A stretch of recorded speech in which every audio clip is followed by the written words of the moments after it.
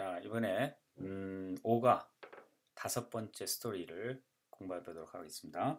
다음 글에 밑줄 친 부분 중 어법상 틀린 것은 자, The siesta was painted uh, while Van Gogh was interned in a mental hospital in Saint Remy de Provence. 자, siesta는 어, 그려졌다. 이제 이거는 그림의 어, 이제 제목이죠. 시에스타라는 그림이 그려졌다. 반 고흐가 was interned 그랬어요. interned란 말은 억류되다라는 말이 되었죠. 어디에 억류됐어요? 정신병원에 Saint Remy, Saint Remy de Provence라는 정신병원에 억류되었을 어, 기간에 그 시에트라는 그림이 그려졌다.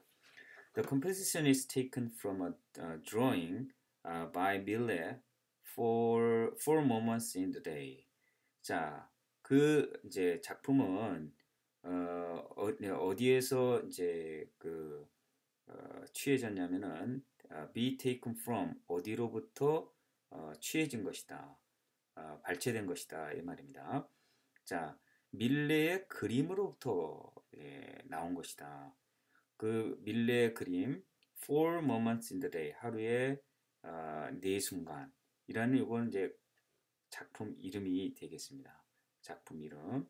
그 작품 어, 어, 그 작품은 어, 밀레의 Four Moments in the Day라는 어, 그 밀레에 의해서 그려진 그림 거기서부터 따온 것이다 이렇게 되겠습니다. 자, 그다음 to justify his act Vincent sold, uh, told his brother Theo, I'm using another language, uh, that of colors, to translate the impressions of light and dark into black and white. 자, 그의 행동을 정당화하기 위해서 또는 해명하기 위해서 빈센트는 그의 어, 동생인 데오에게 말했습니다. 나는 또 다른 언어를 사용하고 있다. 자, 색깔의 언어라 이 말이죠. 그래서 또 다른 언어, 색깔의 언어 이렇게 해서 동격이 되겠습니다. 자, 뭐 하기 위해서 그러냐면은 자, 그러니까 빛과 어둠의 그 인상을 흑백으로 바꿔 놓기 위해서 색깔이라는 그것, 즉 또 다른 언어를 사용하고 있다. 이렇게 해명을 했어요. 그래서 to 부정사는 뭐뭐 하기 위하여 라는 말이 되겠죠. 그래서 translate A into B가 되겠습니다. A를 B로 바꿔놓다 이렇게 해석하면 되겠습니다. 그 다음 uh, Van Gogh often copied the works of Millet, whom he considered to be a more modern painter than Manet. Uh, 여기서 반 고흐는 또한 어, 밀레의 작품을 어, 카피했다, 복사했다는 말이죠. 이 말은 베꼈다는 말입니다. 그러니까 모사하다, 좀 더 고상한 말로 모사하다 이런 말이 되겠어요. 자, 옛날에 이제 그 그림을 이렇게 다른 사람의 작품을 그대로 베껴서 그리면서 그림을 많이 배웠다고 그럽니다. 그래서 반 고흐는 종종 밀레의 작품을 모사했는데, 자, 그 밀레라는 사람은 관계 대명사에 해당되어 있습니다. 그래서 그가 어, 뭐뭐라고 여겼던 밀레입니다. 어, 밀레 작품을 어, 모사했는데 그는 어, 그가 반고가 그를 네, 밀레를 말하죠. 이 훔은 그를 더 현대적인 마네보다도 더 어, 현대적인 그런 화가라고 여겼다 이런 말입니다. 그래서 consider 그 다음에 목적어 그 다음에 to 부정사 이렇게 되면은 목적어를 뭐뭐라고 여기다 이런 말이죠. 근데 그 목적어가 자 앞으로 나왔습니다. 이와 같이 앞으로 나왔어요. 그래서 그가 자, 자 마네보다도 더 현대적인 작가라고 여긴 어, 이제 마네죠. 그 밀레죠. 그 밀레의 그 작품을 모사했다 이 말이죠. 반 고흐는 밀레 작품을 모사했는데 그 밀레는 그 어, 이제 어, 그가 반 고흐가 어, 마네보다도 더 천재적인 어, 화가라고 여겼던 그러한 작가입니다. 다음, remaining faithful to original composition, even down to the still life details in the foreground, Van Gogh nevertheless imposes his own style on upon his uh, this restful scene, where familiar symbolized the rule of France of the uh, 1860s. Uh, remaining faithful. 자, 이거 과, 어, 이 말은 현재 분사로 이끌어진 분사 구문이 되겠어요. 여기서부터 여기까지가 분사 구문이 되겠습니다. 자, 본래의 작품에 충실하였고 반고우는 본래 작품에 충실하였고 심지어는 어, 뭐뭐까지란 말이죠.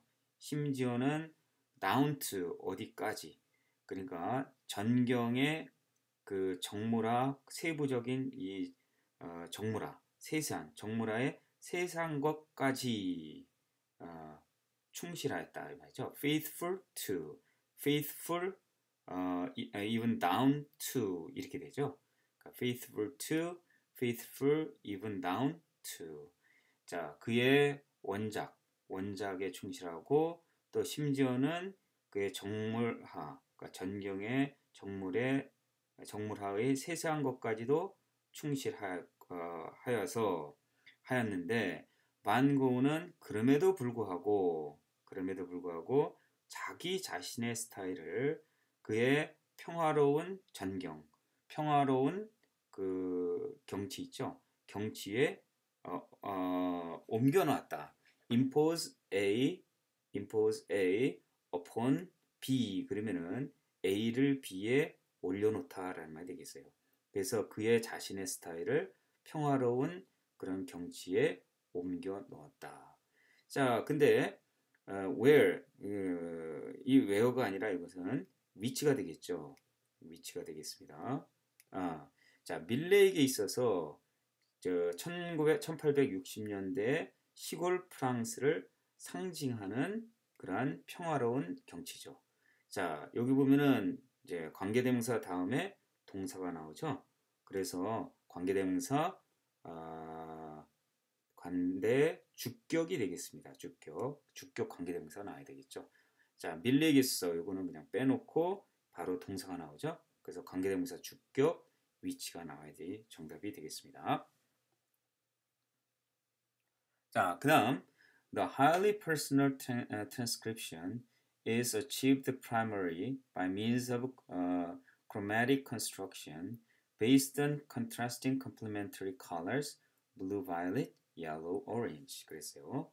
자, 이런 아주 이제 highly란 말은 매우란 뜻이죠. 아주 개인적인 이런 제 전사 리란 말은 다시란 말이고 transcription란 말은 어, 전사 그래서 즉 어, 베끼는 것을 말하죠. 이러한 아주 개인적인 제 전사는 자 이루어졌다, 아, 이루어진다. 주로 자 by means 뭐뭐라는 수단을 통해서 자 chromatic construction 그러면은 색채의 구성이죠. 색채 구성을 통해서 색채 구성에 의해서 자, 그 색채 구성 무엇이 기초를 두냐면은 자, 대조적인 그런 서로 보완해 주는 색깔이죠. 그래서 complementary 그러면은 보완적인 이런 뜻이 되겠습니다.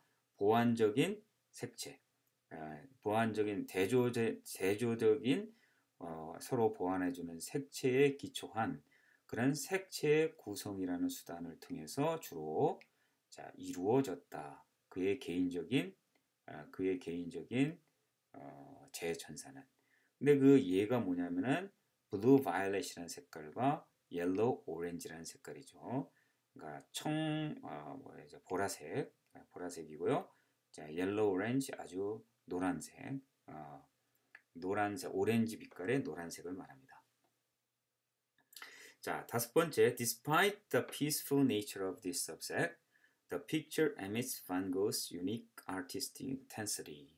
자, 이런 평화로운 그 이런 그 주제의 평화로운 성격에도 특징에도 불구하고 그 그림은 반 고흐의 독특한 예술적 강렬함을 아, 발산한다 이런 말입니다.